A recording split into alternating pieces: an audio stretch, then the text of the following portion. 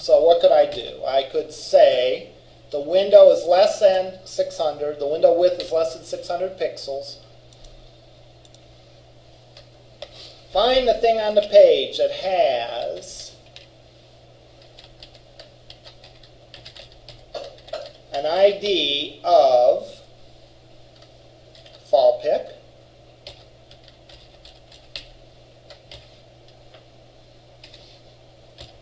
And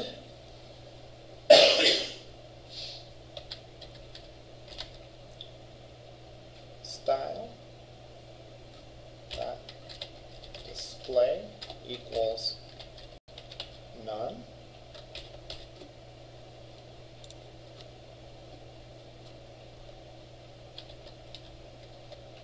Otherwise,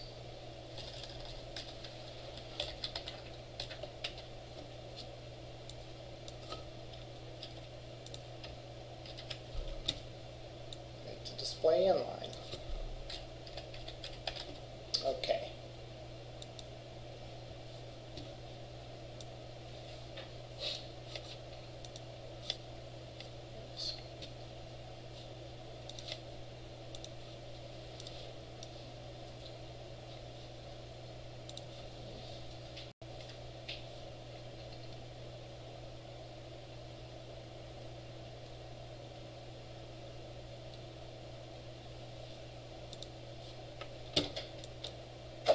That was weird.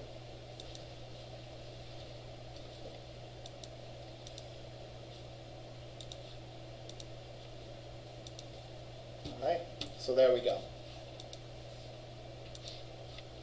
And there, it's not there. So we've achieved our goal from a visual perspective. But if we were to analyze this and think about it, what's happening here? All right, what's happening here when the client uh, when the client requests this, they are getting this web page. So the web page loads. All these tags load. This image tag loads. All right. Then the onload event kicks in. And the onload event then looks and evaluates the width of the page, width of the screen rather, and if the width is less than 600, it hides that image. It says don't display that image. What's wrong with that picture? What's wrong with that picture is that the page loads, then it decides to turn off that image, which means they had to download that image. And again, bandwidth is a consideration in a mobile environment. Right? Therefore, we might not want to take the approach of downloading a whole bunch of images and then hiding them. All right? So, there's a number of ways that you could get around this probably. The way that I'm going to take is I'm going to have a little, um, and I almost hate to do this, but I'm going to have a little dummy image that I'm going to initially load and then I'm not going to show or hide the, the big image. I'm going to swap out the image depending on the size of the page. So let me go into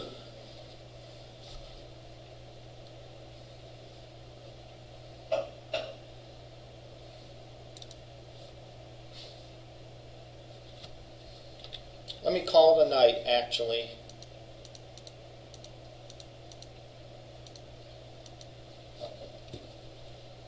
the GIMP. Good.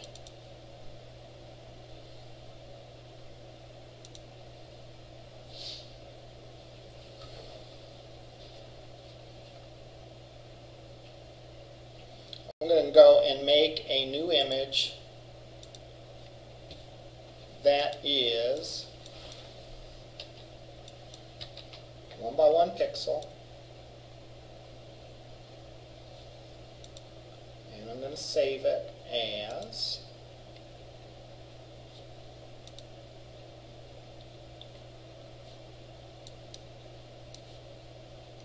correction. I'm going to export it. Export it, yeah.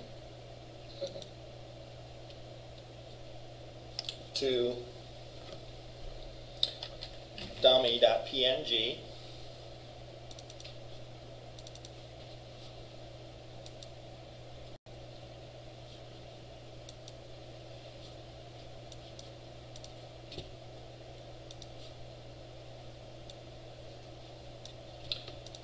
I'm going to set this to dummy.png. And then, instead of making it visible or invisible, actually I could do that as well, but um, I am going to also set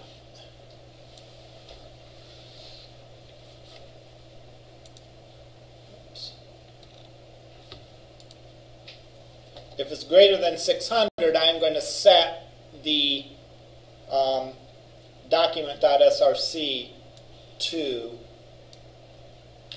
the actual image that I want.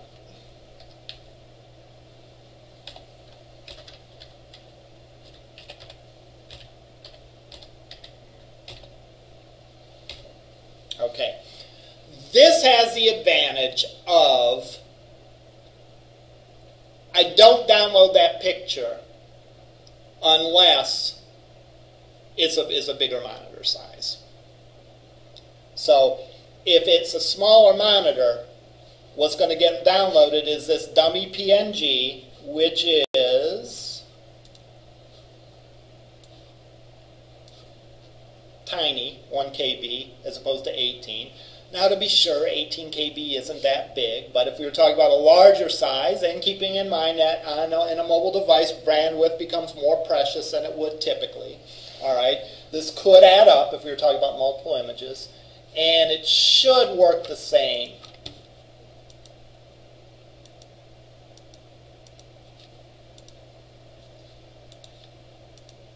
So there it works the same.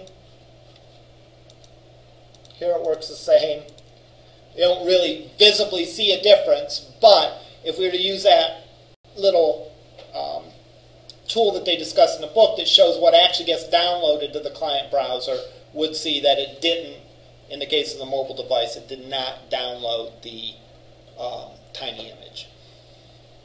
So, so if you were to change, change your Windows, if you were to start on a desktop, with, you were to, like he was saying, make your window smaller, would you still, okay, yeah. So, it, so technically it's loading that, is it, would it be loading that little picture or no, or just still using? No, because my thought is if it's already loaded that image, who cares? I'm not going to like swap out and, and put the dummy little image up again. Okay. All right. So it would only load the smaller image if it's, if it's initially loaded. Well, it, well, well, let me rephrase that. On a desktop, it would first load the tiny dummy image, then it would reload the. That was my point. yeah, Yeah. I'm just So- trying to like, like backwards construct it in my mind, how, you know. Yeah. I know that it's not a practical question, I'm just kind of curious. No, it's good because it's important to understand how this works, how the client and server interact, and how this goes. In that case, it would download the small image. The script then would go in and and swap uh, in the bigger image. was my question. Yes. Okay. So this would be an argument for mobile first too, right? I mean, basically, if you designed it with no image, unless it was a desktop, then it would pull it in, or no?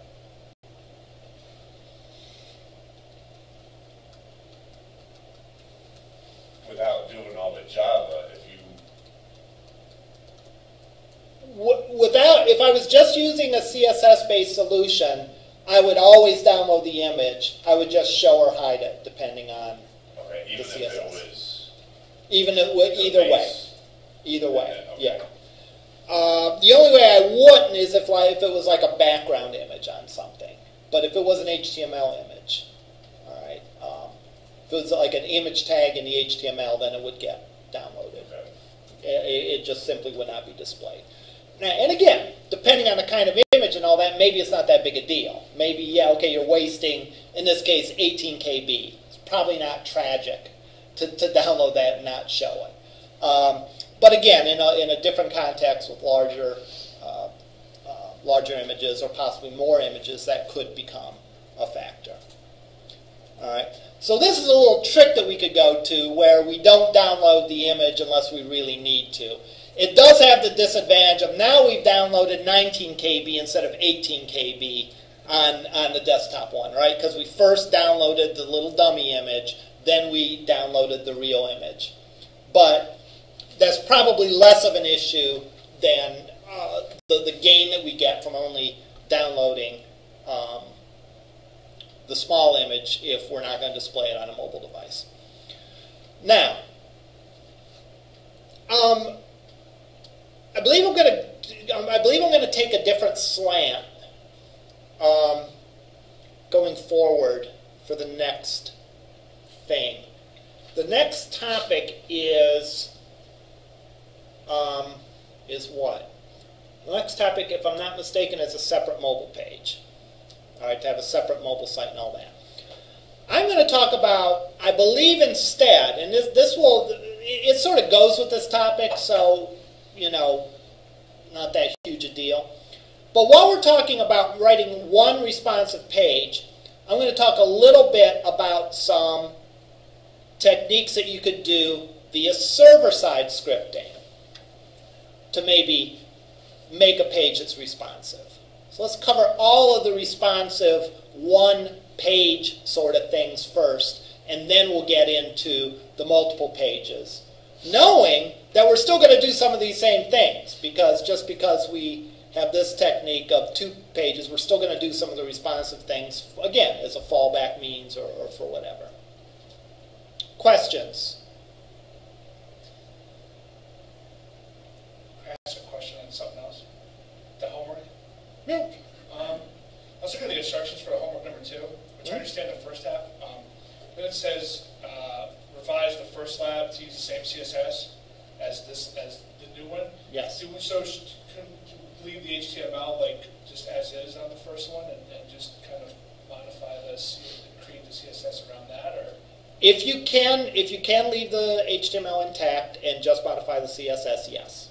okay? If, if for whatever reason, you know, maybe you didn't put an ID on something that Right, needs an that's what I was ID now, then yeah, go ahead and make the change. And then it says finally create a homepage and navigation. Um, is there any content that needs to be on the homepage, or it doesn't? I mean, You could write, you know, it, it should maybe have like a little, little, you know, think about like what you'd see on an actual one. Maybe a little paragraph saying that this is a, uh, you know, this is a your your your resources for mobile development, and you know, if, if you want to make it look spiffy and make it look like a completed page, so yeah, a little bit of text would be fine. You could, or maybe a photo or something. yeah, if you want to do something like that. Yeah. So it's not going to be huge, but it, it's going to have some stuff on it. All right. Other questions? Is anyone going to lab? All right. We'll see you next week.